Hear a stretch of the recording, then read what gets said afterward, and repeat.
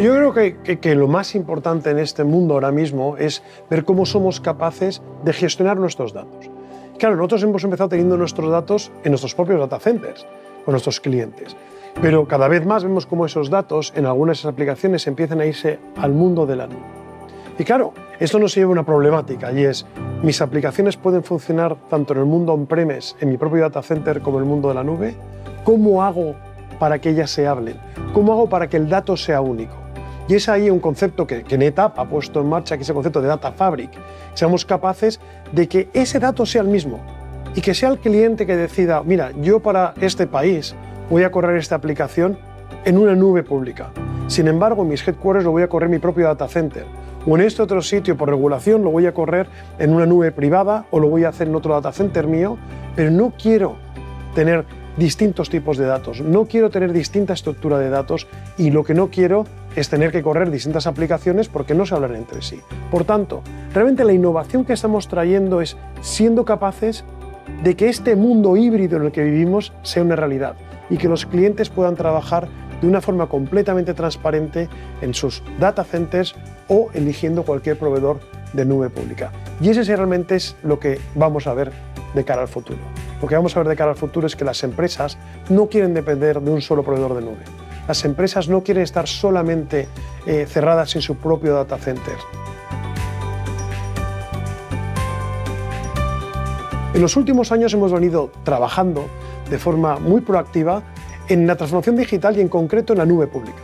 De tal forma que somos la única compañía en el mundo que hoy podemos ofrecer nuestra tecnología que tenemos en el mundo on-premise a través de los eh, grandes proveedores de cloud, en este caso Microsoft o Amazon, incluso Google, de forma directa por parte de ellos. La nube ha sido fundamental para que la inteligencia artificial tenga esa presencia, porque los costos son mucho menores. Pero al final todo se conjuga en datos y en algoritmos que sean capaces de ayudarme en la toma de decisiones, bien sea a predecir, bien sea a poder gestionar mejor a mis clientes, darles mejor servicio, anticiparme a sus necesidades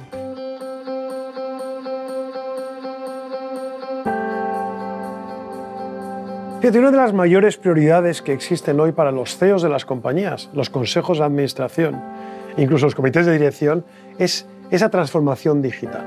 Y esa transformación digital pasa por decir, oye, ¿cómo trato mis datos? ¿Cómo le saco provecho a mis datos? ¿Qué tipo de datos necesito mantener? ¿Qué tipos de datos necesito trabajar con ellos? Hoy aproximadamente se utilizan el 25% de los datos que almacenamos. Eh, desde NetApp en muchas ocasiones nos piden ayuda nuestros clientes para decir, oye, ¿qué experiencias tenéis vosotros?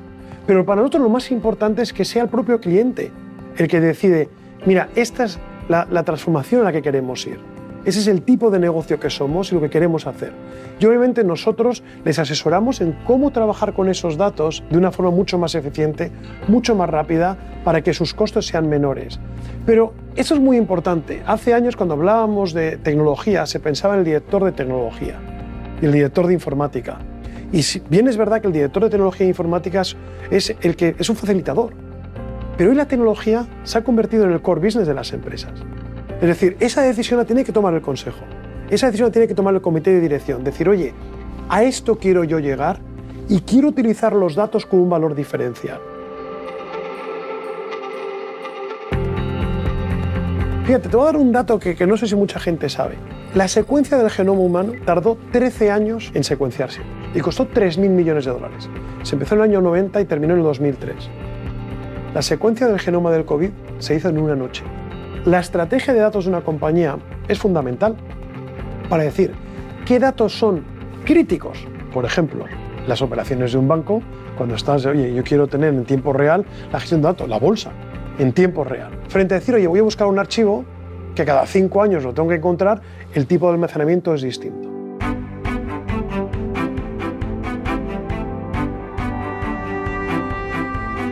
El 5G es una pieza fundamental de esta transformación digital. Antes hablaba de cómo algunos empresarios siguen teniendo preocupaciones en subir aplicaciones al mundo de la nube. Y en muchos casos no es por un tema de seguridad, es un tema de velocidad. Es un tema de decir cómo soy capaz de que mi fábrica, por ejemplo, sea capaz de utilizar Internet de las Cosas y operó de una forma distinta. Bueno, yo no he podido transformar quizás mi fábrica en este sitio porque no tenía esa velocidad de Internet que 5G me va a dar. Por tanto, yo creo que 5G lo que va a ayudar y está ayudando ya es a que esa transformación digital sea mucho más rápida porque efectivamente la velocidad de, los datos y de acceder a esos datos es muy importante y 5G va a ser un enorme facilitador.